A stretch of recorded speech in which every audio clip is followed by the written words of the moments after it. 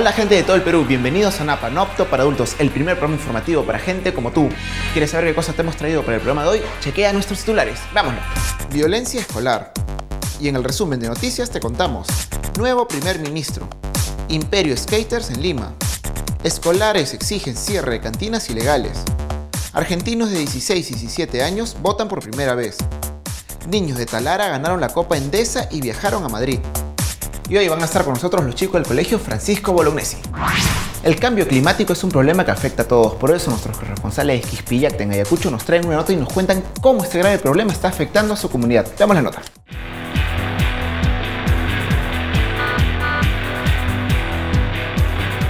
Hola amigos de Napa, les saluda sus corresponsales de Zona Baja de Quispillacta. En esta oportunidad queremos mostrar los efectos del cambio climático, los últimos años que estamos viviendo, cambio de calor, viento, frío, escasez etc.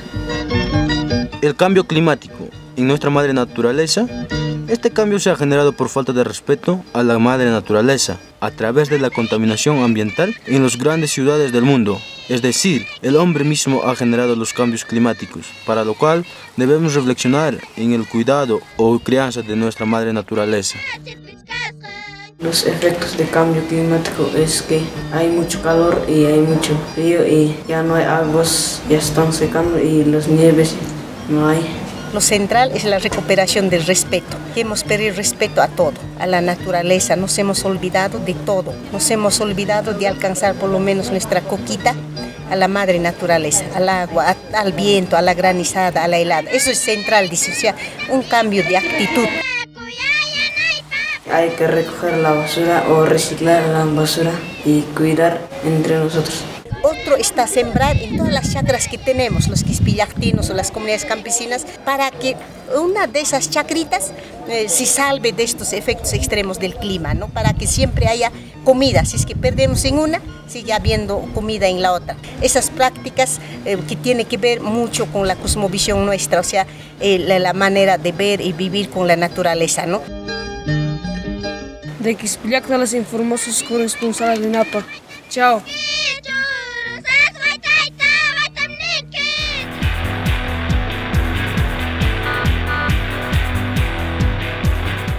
Si quieres ver más videos que nos envían nuestros corresponsales de diversas partes del país, entra a nuestra página web que está apareciendo en nuestras pantallas o también puedes buscarnos en nuestra cuenta de Facebook y compartir la info con tus patas. El bullying o acoso escolar es un tremendo problema que aún no se enfrenta con firmeza en nuestro país.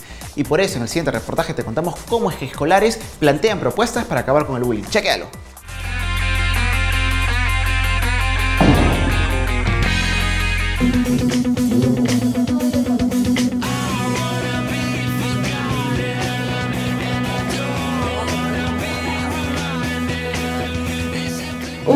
Caso de violencia en el colegio. Este caso trata de un chico que se llama Trambolín. Le decían como era un poco bajo de estatura, enano, o qué gordo estás, o cabeza de nido. Sobre todo brindarse confianza de uno mismo y tener en cuenta que hay profesores y personas que nos pueden ayudar.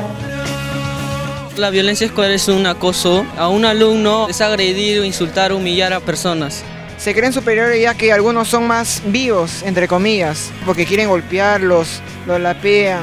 Así es, la violencia escolar, más conocida como bullying, crece a diario y no nos damos cuenta. Las víctimas sufren graves daños físicos y psicológicos.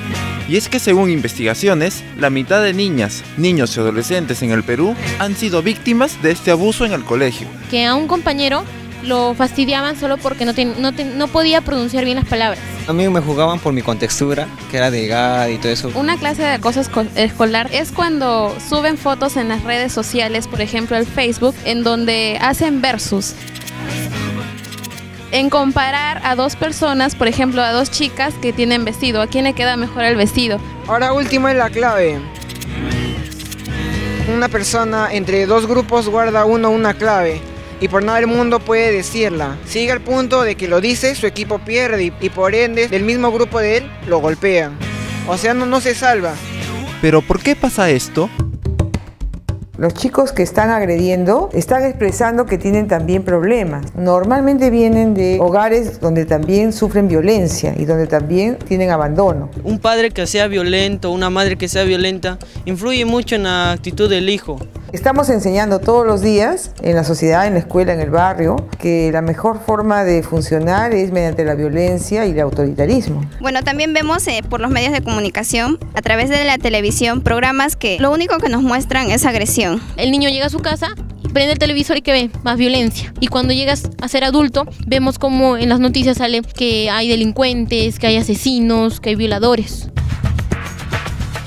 Para enfrentar este problema, el Estado aprobó una ley anti-bullying. Allí se pedía que exista como mínimo un psicólogo en cada cole. Esto no fue posible, porque según el Ministerio de Educación hay solo 925 psicólogos para los 94.247 colegios que existen a nivel nacional. No debemos ser indiferentes, prestar atención a las noticias, lo que pasa en las calles, hasta en el mismo colegio. Yo creo que la convivencia en un colegio es de confianza, entre compañeros, entre profesores y entre todos. Uno pasa en un colegio cuánto, 11, 10 años. Vas a ser como te han enseñado en esos 11 años, con valores, con respetos, para ser una persona buena ¿no? en la sociedad y servir para algo. Pero también a los profesores que también tomen en cuenta que el bullying es malo, porque hay profesores que piensan que es un juego normal, que los adolescentes que está pasando de moda y que va a cambiar. Por eso es importante tener claro que todos debemos ayudar a acabar con la violencia en la sociedad, para así garantizar que las niñas, niños y adolescentes reciban una buena educación en armonía y solidaridad con sus amigos en sus coles.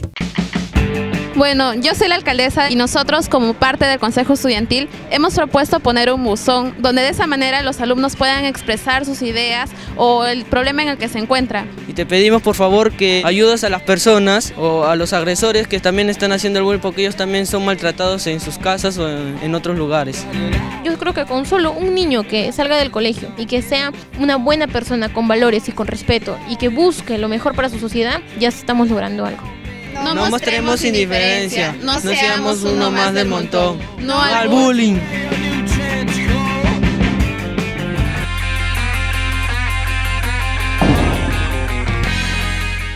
Y para combatir el abuso y la explotación infantil, en NAPA te hemos preparado la sección NAPA contra la explotación infantil. Allí encontrarás notas y reportajes que te ayudarán a prevenir la explotación de todo tipo, sea sexual, laboral o la trata de personas. Además, esta sección la puedes encontrar en nuestra página web y la puedes compartir con tus patas. Vamos a una pausa y regresamos para conversar con nuestro amigo del colegio Francisco Bolognesi. Y hablemos. Hola, mi nombre es Araí, vivo en Chorrillos, en Vista Alegre y les voy a contar lo que me llega. A mí me llega que el auxiliar nos pare por cosas innecesarias.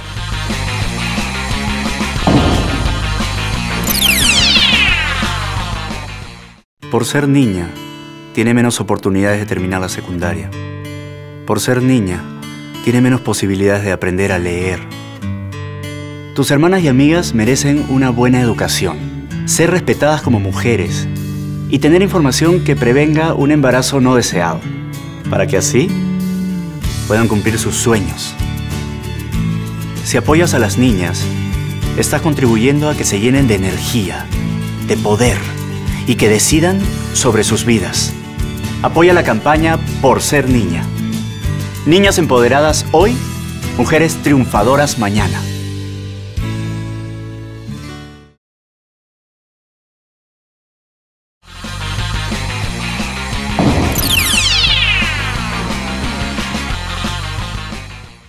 Estamos de vuelta en el programa y ahora estamos con Katy y estamos con Flor. Ambos vienen del Colegio Francisco Bolognesi de Villa El Salvador. ¿Cómo están? ¿Qué tal? Muy bien. ¿Qué tal? ¿Qué te parece el reportaje, Flor? Bueno, este, creo que lo del bullying debería haber personas que, por ejemplo, este, cuiden más lo, por ejemplo, en el recreo que pasa, este, las personas, las personas mayores se aprovechan de los chicos y empiezan a hacerle, este, empiezan insultos y a pegarles o quitarles su recreo y eso debería ser más por los auxiliares para que cuiden más en la hora de recreo o en la hora de salida. Sí. Eh, a mí me parece que eso no debía, que debe haber auxiliares en las cuales cada salón, cada cierto tiempo deben entrar y vigilar lo que hay, porque uno no sabe qué está pasando. A veces uno se calla o dice que, bueno, miente todo, ¿no? Desmiente por, lo, por el miedo que siente que el otro compañero le vaya a pegar o le vaya a gritar. Y lo otro es algo importante que has mencionado, ¿no? Que muchas veces en el recreo se da este tipo de violencia y que muchas veces además no es, no es así tan directa, sino que en manera de juego, ¿no? Te agarran de punto, termina siendo la lorna y, y- y en realidad eso genera, o eso es, es parte del bullying, ¿no? ¿Ustedes qué piensan acerca de eso? De, de que pocas veces, a veces ni siquiera denunciamos porque son nuestros propios amigos, ¿no? Nos, nos hacen sentir mal, pero no denunciamos porque son nuestro entorno. ¿Qué, qué, qué piensan de eso ustedes? Creo que debe hacer un amigo, pero debe este límites que no pueden este pegarle, o sea, puede ser de broma, pero no los no el golpe y no los insultos. De eso. Eh, yo que, bueno, que los, los, los causantes que ocasionan esto, que no debe ser así, por lo que lo cual la persona se siente mal, por dentro se calla, pero sabe que tiene temor a que esa persona le, le amenace o después de la salida un golpe o, o algo así parecido. Y por ejemplo, si so- conocemos a alguien que está siendo víctima de bullying, ¿a dónde acudir? A los auxiliares, por ejemplo, si están en los colegios o al director, al, prof- al tutor del salón o a los profesores que se encuentren cerca. Sí, yo también pienso igual que ella, que hay que acudir, pero hay veces que los alumnos no acuden, por lo cual tienen temor. Tienen temor a que esa persona venga y te grite o te diga soplona o que esto o el otro. Es por eso que a veces se guardan ellas mismas. Mismas se guardan lo que, lo que tienen que, pero yo creo que deberían, deberían acusar y ir decir a los tutores o al auxiliar, decirle el daño que están ocasionando a la otra persona. Claro, lo, peor de- que puede pasar es quedarse callado y que esto se siga repitiendo y reproduciendo y mucha más gente termine siendo víctima del bullying. Ahora vamos a dejar que nuestra amiga Saraí nos cuente qué cosa es lo que le llega.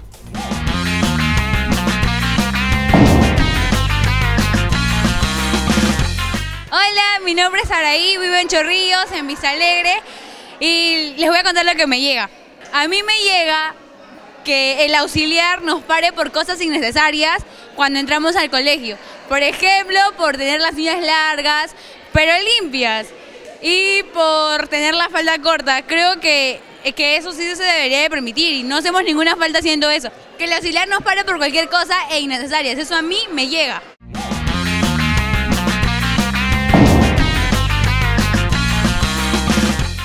Y no te olvides que puedes ver más llega en nuestra sección de nuestra página web. Y si tú tienes algo que te llega, no dudes en escribirnos a nuestro correo napa.napa.com.p que nosotros iremos micro y cámara en mano a tu cole o tu barrio o donde estés para que nos cuentes qué cosa es lo que te llega. Los chicos y chicas tenemos derecho, pero muchos no lo conocemos. Por eso es que organizaciones niños, niñas y adolescentes organizaron el Festival de los Derechos en Villa El Salvador. Nuestros corresponsales de este distrito estuvieron ahí y nos lo traen en la siguiente nota. Veámoslo.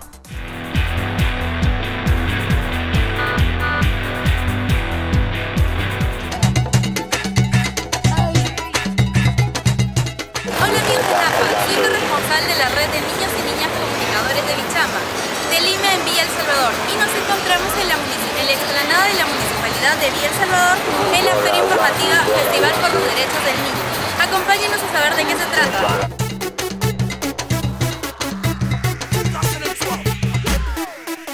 En esta oportunidad estamos haciendo una campaña de comunicación en la cual nosotros como niños y adolescentes de diversas organizaciones de la sociedad civil intentamos llegar a nuestras autoridades y a nuestra sociedad para que tomen conciencia de lo que nosotros como niños y adolescentes estamos realizando.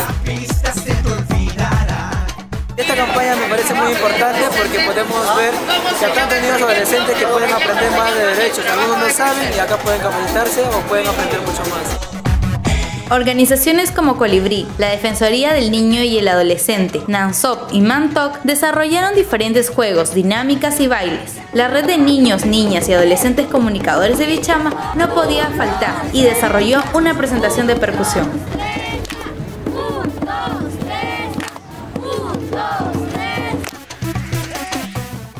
Espacio para que puedan conocer, porque los derechos de los niños y adolescentes no solo lo deben conocer ellos, sino también todos nosotros. A veces uno no sabe que hay niños en la calle, que los explotan, y no sabemos tampoco cómo ayudarlos. Entonces estas ferias están muy bien. Nos despedimos amigos y amigas de Napa y esperamos que ferias como esta se sigan realizando para que así más niños, niñas y adolescentes conozcan y puedan hacer respetar sus derechos. Hasta la próxima.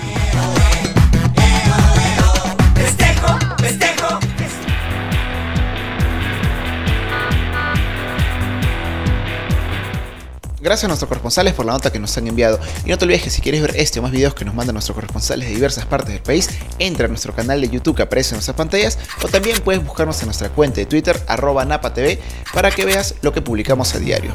Bueno, muchas gracias Katy, muchas gracias Flor por haber estado con nosotros. Ahora vamos a una pausa y regresamos con dos compañeros más de ustedes para comentar nuestro resumen de noticias. Ya volvemos. Luego de un año y tres meses, Juan Jiménez renunció a su cargo de presidente del Consejo de Ministros.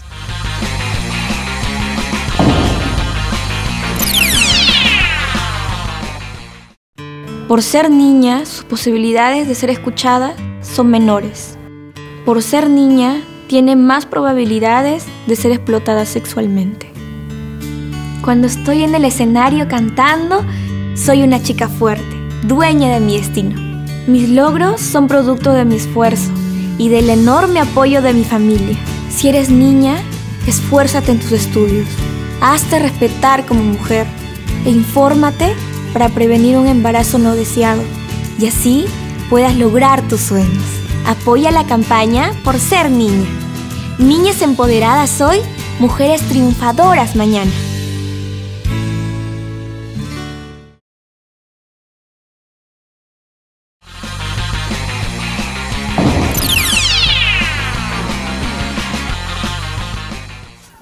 Estamos de vuelta en el programa y ahora estamos con William, estamos con Geraldine. Ambos vienen del Colegio Francisco Bolognesi y con ellos vamos a comentar nuestro resumen de noticias. Esta semana se llevó a cabo el evento Lima Imperio Skate, donde miles de deportistas estuvieron acá en el Perú y la rompieron. Veamos esto y más notas en nuestro resumen de noticias.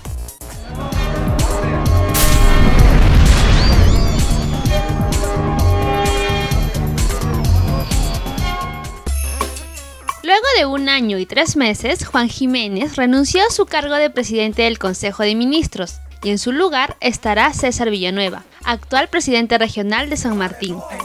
Según el gobierno, Ollantumala buscó a alguien que encaje perfectamente con el trabajo social y regional que se necesita para el siguiente año.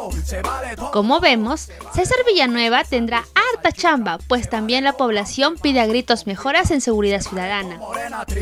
Estaremos atentos a su trabajo en mejora de la población.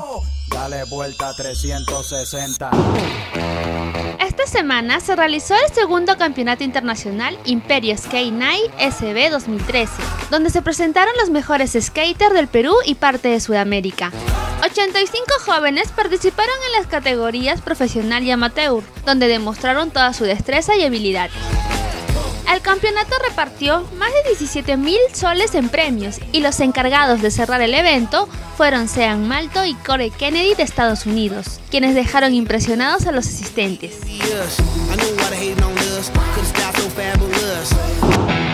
Grupo de escolares de la ciudad de Arequipa están hartos de que prostíbulos y cantinas ilegales funcionen cerca de su cole. Por eso salieron a las calles para reclamar a las autoridades municipales y al Poder Judicial que clausuren estos locales. Lamentablemente, aún hay más locales como estos cerca a muchos coles, pero muchas veces, después de que las autoridades los cierran, vuelven a abrir como si nada hubiera pasado. ¿Hasta cuándo seguirá esta situación?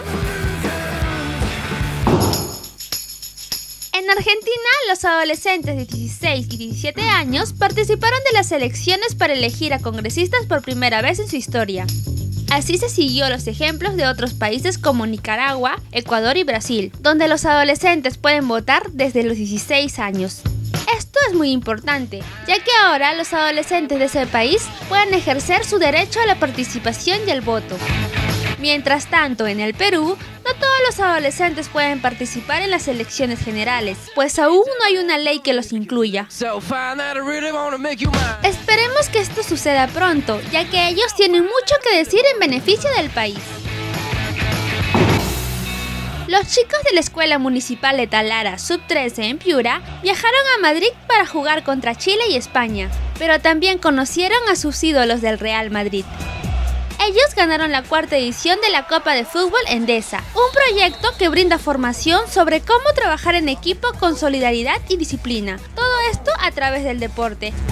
Qué chévere que haya instituciones que apoyen el deporte y promuevan la construcción de escuelas sociodeportivas para niños de bajos recursos económicos.